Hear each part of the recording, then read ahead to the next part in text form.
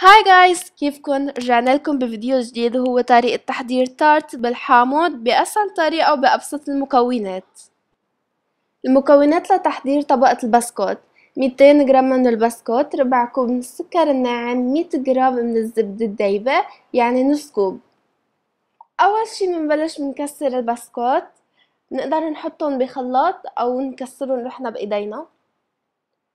بس الأفضلية إنه نكسرهم بالخلاط. بنبلش بندوب الزبدة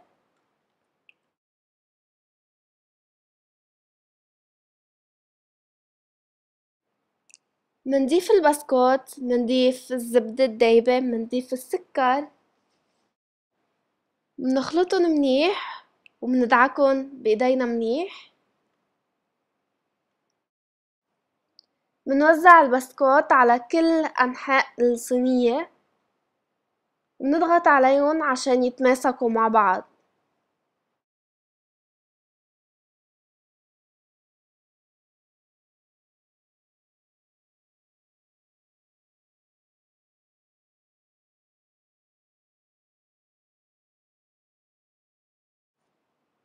وهلا بنحطهم تقريبا لمدة شي خمس دقايق بالبراد. وهيك بتكون جاهزة طبقة البسكوت. وهلا بدنا نحضر الطبقة الثانية بدنا ست بيضات مية جرام من الزبدة ميتين وعشرين جرام من السكر أربع حبات من الحامض وبرش الحامض. بنبلش نبرش الحامض وننتبه إنه ما نبرش المنطقة البيضاء. بنحط على النار عصير الحامض والبرش والسكر. وبننطر المي لتغلي. وهيك بيكونوا جاهزين لحتى نضيفهم على البيض.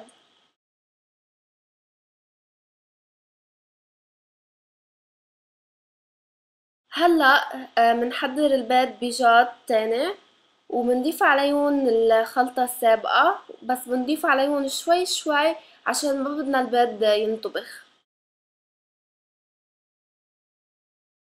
بنرجع بنحطهم على النار وبنضيف الزبدة. ومنتركن شوي على النار لحتى يجمدوا ومنضلنا عم نحرك منيح.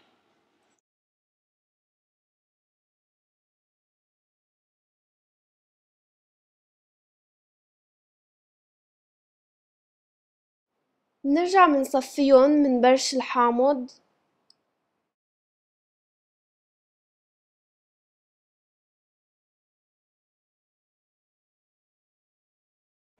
وهيك بتكون طبقة الحامض جاهزة وبنحطهم فوق طبقة البسكوت. وهيك بيتشكل عنا تارت بالحامض. بنحطهم تقريبا لمدة ثلاث ساعات بالبراد. وهيك بيكون تارت بالحامض جاهز للتقديم. ما تنسوا تعملوا لنا like و subscribe وكمان تعملوا لنا share bye see you in the next video.